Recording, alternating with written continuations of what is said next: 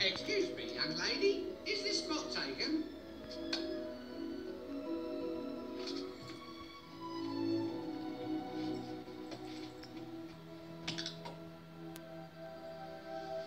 can see we're not needed.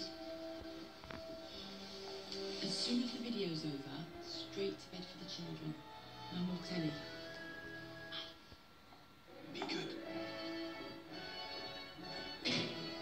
Anybody want to order takeout? So where was I? Um, oh yes. So I, uh, I, I started the shelter, and uh, we were going down for the third time when Cruella stepped in. Her again.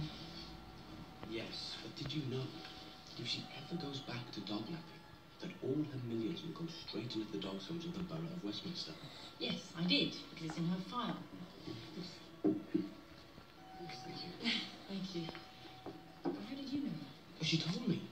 And did you know the Second Chance is the only dog shelter in the borough? You're joking. Mm-hmm. Could you imagine what Drula would do with eight million pounds? Now